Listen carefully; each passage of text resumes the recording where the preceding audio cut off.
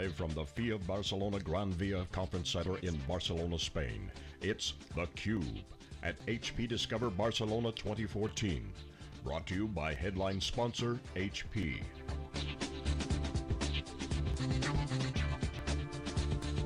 Here are your hosts, John Furrier and Dave Vellante. Okay, welcome back everyone. This is theCUBE, our flagship program. We go out to the events, extract the signal from the noise. This is SiliconANGLE and Wikibon's production of HP Discover, live in Barcelona. I'm John Furrier. With my co-host Dave Vellante, our next guest is Seamus Dunne, who's now the uh, VP of Data Center Services at HP. Uh, CUBE alumni, have been on multiple times. In fact, a few yeah. years ago you announced uh, some innovative stuff. We were bullish on it. We were like, hey Dave, that, that sounds interesting. Yeah. Um, it's doing pretty well. Welcome back. Thank you. Good to be back. So tell us, um, just to replay the tape, I wish I had the video handy, Jeff Frick would love it, but we do have the video, we'll pull that up and I'll put it up on the crowd chat.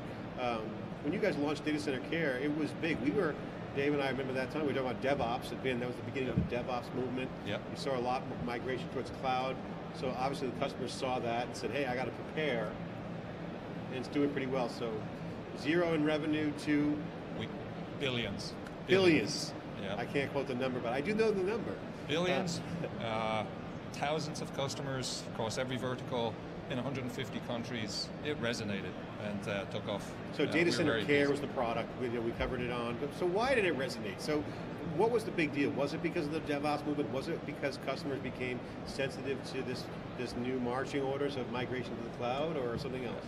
You know, the, the reason it resonated was the value proposition that we knew was associated with this was to uh, help you operate what you had in IT and then help you evolve your IT. That was our proposition. Help you better operate what you have and help you evolve to a new style of IT. And we specifically said to give you agility uh, of your IT and to give you reliability of your IT. And it, part of the reason we knew that that was required value proposition was it was too complex. It was multi-vendor, out across your hardware, up, up your stack, a lot of seams to, to, to manage. So we actually, it's a partnership-based service where we can put a one number to call across your, your data center and um, simplify, hide the seams, uh, give you reliability, allow you to evolve and partner with you to evolve so you can achieve some agility of your, your infrastructure in your data center. And it just, just really, really resonated and uh, people needed it. So new style of IT, part of the turnaround you see in the shift of HP, so that's a good positive sign. I want to highlight that 'cause I think it does resonate, it does point to what the customer behavior is. So I got to ask you, whenever you take territory, you, someone loses territory, was there some other services involved that were collapsing into this? Um, was it greenfield opportunity? Did you, what kind of patterns did you see in the marketplace? Um, well, you know, the first thing is when we, when we took on data center care and we, we, partnered with a customer, what we did is we freed up their resources. So in some ways, we freed up the operations and IT teams to do more work, do more innovative work. Um, we did take territory from people, so for example, we, we took territory in the data center with the footprint in the data center. So a, a recent example is, is IBM. They sold their server business to Lenovo. We put it to our customers that maybe you need somebody that's going to stay with you. And you know, so we took territory there. Uh, By taking the. IBM contracts from the Lenovo piece. Absolutely, yeah. And we help them with your refresh cycles and how you want to manage that. That- That's one example. We, we also then have continually added new capabilities into that service. So we talked about flexible capacity, I recall last year. That was an obvious need to give you cloud economics on your data center. Um, we've added what we've called operational support services here in EMEA, which is you know taking some what we'd call maybe outtasking with some tools and advisory services that are packaged to to do a little more above the infrastructure to help you and free up your resources. We've added uh, all sorts of analytics, monitoring. Almost every month we add some new capability because of customer feedback. It's that when you have a partnership engagement like that, you're, you're intimately involved with customer needs, so it's very easy to innovate, uh, you know, and add new capabilities. You know, we had Scott Weller on, who's uh, your boss. Um, Yeah. He's always soft-spoken, but we've pretty much been on point on this I think going back to one of the announcements we did almost four years ago, he saw the trend towards the cloud, this whole DevOps thing, and he really was articulate on what he wanted to do. And it seems like you guys made a lot of progress. So I got to ask you, has it been um, technology driven? Has it been process driven? Both? Um, and what things are, have you done great, and what are you working on now? That's the next set of uh, innovations. That's that's a great lead into what I, I wanted to say. So it's been everything. I mean, people, process, service, knowledge, and capability, and technology. So we're not building a service and a partnership in your data center uh, alone as a service organization. We're building it on top of the innovation in EG and with our cloud and Helion business unit. Um, so it's it's very much technology, but it's it's very what we focused on is we're going to help you better operate what you have today, and we're going to help you take you on the journey to whatever stage of the new style of IT you want to be on. So, and that's with in partnership with our cloud business unit, our product divisions, from server, storage, networking. It's with our consulting organization. So it's all of the above. Now, what we've seen over two years with data center care and flexible capacity is when it comes down to it, just above all of the, the new capabilities we've added in, is IT, because it's not as agile as it needs to be, is holding back business. The, businesses are digital, they need flexibility and agility for their business. Often the lines of business are running ahead of where IT is at. So that's that's that's what we've seen more than more than anything. They need agile IT to make agile business. And what, what we've what we're doing right now, the, the main thing actually that we're, we're working on over the last uh, number of months is what we're calling data center care infrastructure automation with data center care infrastructure automation, we're putting together a set of advisory services, processes, and tools, and we're, we're putting it together and building it into data center care um, as, a, as a service, which will help you get to what we call programmable data center. Or maybe some people use the term software defined data center. But basically, it means that you can program your, your data center you can revision it, you can deploy it, um, you can monitor it, you can roll it back. Um, so you can move in a far more agile way with, with, with your IT. And, that, and, that's that's like, we think this is a game changer. yeah, I mean, infrastructure is code. You've been talking about that, John, since I met you. Um, but I want to, Seamus, unpack a little bit the, the whole new style of, of IT. Every time I hear that term, I, I picture Meg. She likes that term. And then she, when she, you know, she's talking to a big audience, so she talks about cloud, mobile, social, big data, security. Okay, that's cool. But when you get down to the front lines in IT, yeah. they all, to me, it's all driven by cloud, right? They want to yeah. be cloud-like. You know, you're talking about programmable, what I call programmable infra infrastructure automation. Yeah. It's like, give me a way to code through an API, give me access to a data center yeah. that I can then provision, manage, orchestrate, you know, through software. Yeah. Got it. Okay, great. So that's a new style of IT. And you're talking about data center care helping people get more out of what they have today, because that's yeah. critical. Everybody always wants to just go to the new stuff yeah. and forget about the old. Uh, but then get from A to B uh, and, and do so in a way that delivers ROI for, for the company. So Describe that new style of IT in practical terms as what's actually happening on the ground in your customer base. Sure. Um, I think you hit the nail on the head, Dave, first. So the key is to get more out of the IT that you have today. Uh, to get more out of the IT that you have today, obviously data center care as we've constructed it as a service uh, is, is, is, is core, but adding infrastructure automation is going to allow you to automate and really software control your data center. You can think of your data center as a piece of software. Now, Scott Weller, as, as you know, is a visionary be behind this in our business, and he uses a Russian doll analogy. So, data center care, flexible capacity, infrastructure automation means that whatever your, your data center is, your IT will be supported. You have a partner to support it. We can give you flexible capacity so you can have the economics of a cloud environment on your own premise, and we're going to automate the infrastructure for you. That's sort of the outer shell, regardless of the data center that you have. Now, it only gets better as you add some of the technologies that you see all around us here in Discover. Um, when you add in technologies at the, just at the infrastructure level, so the converged systems, OneView as a management software, it just makes it better. It's making it software defined at, at the infrastructure level. When you move into software defined networking, as you see over in our networking booth, it gets even better. When you build up in that and you think I can have a hybrid environment, and I can use with, with Helion, I can have a platform that allows me to move on and off premise with Helion OpenStack, um, it gets even better. So we're, we're starting at the data center level with data center care, with flexible capacity, with infrastructure automation, as I've described, packaging advisory services, packaging uh, uh, tools and processes.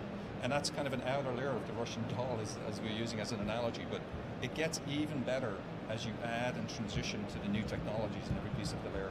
And that's that's when you ultimately get to what's what's the the best value proposition of the, the, the new style of IT. And, and, and you mentioned automation before, it's sort of a statement of direction, I guess, but how about connecting to some of those automation tools and things of that nature? Can you talk about that a little bit? Is that in the plans? Or? Yeah, well, so we have connected products. Um, and we, we get a lot of data and we do a lot of analytics with that connected products and the data we get back. But with infrastructure automation built into data center care, what we're doing is allowing a level of, of, of programming to think of your data center as software, which means you can make rapid changes all the time. It takes risk because you're doing it so often, it takes risk out of the equation. Um, because to make changes on, on, on, the infrastructure and the data center uh, as it exists today feels risky. I have to plan, I have to do some test, uh, uh, dev test on the side, I'm going to implement it in production. Um, but if you can program your data center, uh, be able to provision it, be able to configure it, uh, and operate it uh, more, more programmably, um, the, the, the, risk is taken out. So the, the need to connect at those layers is abstracted away. Mm-hmm. Um, and it gets even better then as you, you move into the, the, the newer technologies. So we have questions from the crowd, for Seamus, from Tim Crawford. Um, okay. What's the value proposition for HP DC services today and moving forward? Um, so the value proposition for, for data center care today? He said there's a difference between theory and reality. Yeah. I don't know what he means by that, but well, the reality is that the two and a half thousand customers that we have, um, we're continuing to grow with and, and adding at a, a, rapid, adding to it a rapid rate. Uh, the benefit that they're getting is we're helping them get more out of the IT that they own today. Um, there's one number to call for their data center. We look after uh, not just the HP infrastructure, but the the, the, the, the, software to back-to-back arrangements uh, up through the stack, to other vendors' hardware. And not only that, we, we simplify and hide the seams across that complexity in their data center. And not only that, we help them operate, not just operate, but evolve to whatever style of IT they want. So he asked, how, is, how much is that of, of the success is driven from other sources like EDS? I don't very, know. Very, very little. Very, very, very little at all actually. I mean, there's some, and we, we certainly engage with that, but uh, our, our, enterprise service organization uh, is not really part of this, the, the data center care sales. Okay, so it's separate. Yes. Yeah, it's a separate thing. So Tim, separate question. And they're not basically moving EDS money over. Well, but yeah. so, but Tim brings up an interesting point. He's, he's saying that data center software is great in theory. The reality is very few uh, uh, uh organizations are capable of getting there that's sort of music to the ear of the services guys. Yeah. but so having said that, we're, we're going to help. I mean, Am, I, have said it once. I've said it many times. Amazon's turning the data center into an API. Now, granted, it's public cloud. It's only yeah. certain workloads, but it's very clear that that model of being able to program infrastructure is one that yeah. that is is changing the world now. Where people and are very and very relevant. It's not a one. It, it is relevant, right? And it scales um, and it's changing the economics of the data center. Now, Tim's right. Uh, the reality is, is on the maturity curve. Yeah. You know, we're not there yet. Um, outside of certain apps, you know, the obvious stuff, test dev, maybe web apps, but more and more is moving. So I wonder if you could comment on yeah, that. Yeah, I'd love to comment yeah, on it. The first reaction is, uh, two years ago when we first started talking about data center care, there was a lot of questions like that, and uh, you know now it's like there's not so many questions D- doubting the. You the got a strategy. spring in your step. You got a smile. Things are going yeah, well. I mean, I, like we're pretty happy with. Well, the, the we- we business had a is value there. prop. I mean, it's- business is that's- there. that's- Well, the next step into the question, like just taking the public cloud question you got. So, and, and I think the comment was there's the reality and um, you know there's the, there's the there's the value proposition and they both match. Listen, the the the approach of going out to the public cloud is is an economic one, and it's because I can, as you say, access through an API. What I've just tried to describe and what we're building on with data center care, with data center care infrastructure automation, is allowing you to do that in a hybrid environment, both public cloud, and but allow you to do it for all the benefits of on-premise. We're building in flexible capacity, we're changing the economics to be more similar to what you would expect from an as-a-service public cloud. We're giving you an as-a-service on-premise with those economics. With the infrastructure automation approach, we're allowing you to think of your data center as a piece of software and access it through APIs. In fact, you can think of that same logic going down through each of the layers, down to Helion, uh, or, or OpenStack, or the, whatever platform you're operating on. You can think of it the same way.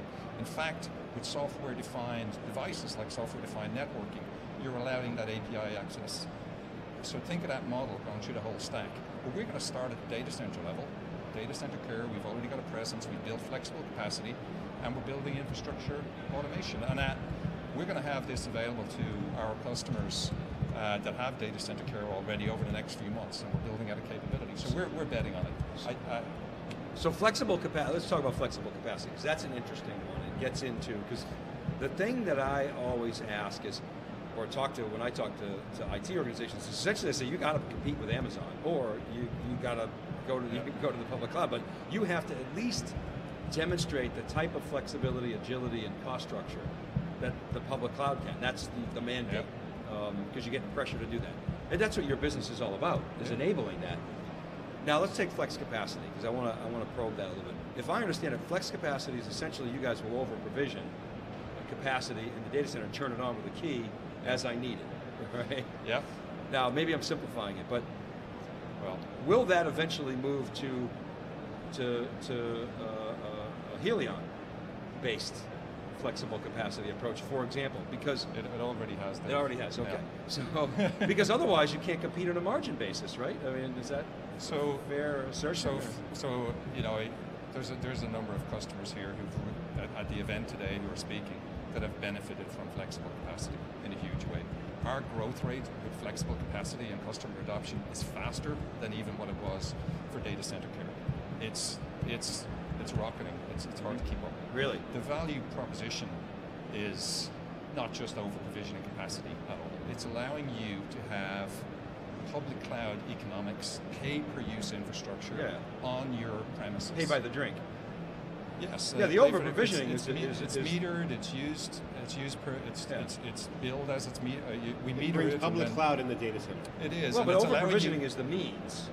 But that's not the value proposition. I didn't mean to imply that's the value proposition. The value proposition is, as you're saying, it's the agility, pay by the drink. Please Uh, carry it's, on. It's cash, so you're not Yeah. outlaying cash. Right. It's it's speed. Uh, you get it fast. It's elasticity or flexibility to scale up and down. Um, Yeah, why wouldn't people take advantage of that? it's I mean, it's a no-brainer, and in fact, what's what's interesting is, of course, that you know the, the, the decision makers, you know, for something like that change and evolve a little bit. Where sometimes uh, going to Amazon was like a shadow activity that people did with their credit card on yeah, the side. just don't tell anybody. And, and uh, you know that's unfortunately was the reality. But for flexible capacity, once once the CIO, the CFO, and the line of business managers grasp it, the purchasing manager grasp it, it's a no-brainer. It's it's exactly what they need to do to scale, and it's it's a part of the value proposition for the agility they need, the economics they need. Uh, it's it becomes a no-brainer. And you know, if you look at what some of our, our developers, and if you move to think about DevOps, what they have to do, they they have really gone for developing on a platform, and they've assumed uh, a, a PaaS model out on public cloud. In fact, with flexible capacity, with infrastructure automation, with all of the other technologies as you layer it down, when you choose the right platform, you can do all of that on your premises. All the economics, the benefits you get, the speed, the agility. So we put a number of these things together and join the value proposition up. They're not only in isolation. So flexible capacity has a great value proposition in and of itself. But when you couple that with automation of your infrastructure of your data center, and you couple it with data center care wrapped around it, uh, that's when the value proposition comes together, and that's how you achieve agile IT. What percent of the customers you talk to, so you mentioned you could do all that on premises, what percent of your customers say, I don't want to do anything on premises? I just want to go to the cloud, can you help me? Is that a single digit percentage? Is it zero? Is it uh, double digits?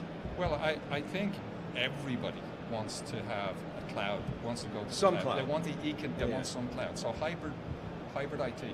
Hybrid IT is virtually 100%. almost 100% of the customers that we have with data center care want on-premise IT also. Um, and they want, so that's why we built a hybrid support model that we announced last last year. So hybrid's hybrid's the dominant model going forward. In, yes. In, in, yeah, from yeah, what you can what see. Seeing, yeah. And there's outliers that maybe say I don't want anything in the cloud. It's a bad word. Maybe it's you know government organizations or maybe certain financial services. And then uh, is it correct that there's outliers that want to put everything in Amazon? I mean, reInvent Amazon had a big, big push on going all in the cloud. Are you seeing any of that? Some uh, of that? We probably Virtually. see that with startups, maybe. Yeah. Okay. Uh, so it's outliers you know, or startups. Or yeah, our enterprise customers, you know, they, IT is their business. It's integral to their business. They want a cloud proposition. There are some things they want to put out in the public cloud, uh, but ultimately, uh, the, the, the, the, security, the compliance, the latency, the performance, they, they want, they need an on-premise value proposition, but their expectations for their data center in terms of the agility, the flexibility, the economics are being set by the public cloud experience. So I, I like to use a, because I live in an old house, right, really old okay, house, like 1600s, right? So and anytime, I think we've had this conversation, anytime you do anything, like you put an extension on, you got to build old to new. Anytime you connect old with new, that's yep. the most complicated part. And I presume that's true with IT and, and, hybrid cloud. So how? Dave, that's exactly the point. I think that's that's what I was trying to say. We will, with data center care, with infrastructure automation, we will help you get more out of what you have today. That's that's critical. In, in, infrastructure automation, the tools we've put together, the competency we've built out for advisory services, the processes that we've wrapped around that, bolting and extending into data center care, that's all about getting more out of what you have today and creating a context for you to be able to move and transition technologies underneath that. Uh, be that converged systems for your infrastructure, different management, software defined, uh, hybrid. It allows you, it gives you a context to get more out of what you have today and, and make the technology transitions underneath it to ultimately get it to be more agile. That, that is a value proposition. That's why I think about exactly as you described. How do I how do I look after my old while still making it better into the future? And that's that's that's uh, I think a good way to look at what we've what we've done here with data center care. So infrastructure automation is the big announcement. Uh, Seamus Dunne here inside the cube. Uh, it's been great watching you guys uh, grow. Scott's been on, early on with the cube. Scott's in our fifth year uh, here at HP Discover. We're embedded now. It's like uh, but I got to say, you know, you guys are moving up the stack and really taking a pragmatic approach. Obviously, you're winning. Obviously, the numbers speak for themselves. Yep. You got happy customers. So we got infrastructure automation. Are you going to launch next year uh, infrastructure orchestration service? you know, uh, we, have can, no, I, we've can no, I connect that dot? We've no 2016 announcements yet, but uh, we will certainly I'm projecting you know. uh, the winner of the uh, state of the data center will be infrastructure automation next, uh, orchestration next year. We believe it's, uh, we believe infrastructure automation is a game changer, and we're going to build that out next year, and we'll keep taking feedback from the customers. When you've got intimate relationships with, with customers, uh, you know it's great. It's the best place to get feedback. So they'll they'll you know, determine largely. Automation is a great thing. You extract away the complexities and provide value. That's the future yeah. of the cloud. Seamus Dunne here inside the Cube. Great to have him on VP of Services Group here within HP uh, Cube alumni, um, out in the front lines helping customers. Great to always hear your perspective. Congratulations on your success and your new launch. This is the Cube. We'll be right back after this short break. I'm John Furrier with Dave Vellante. We'll be right back.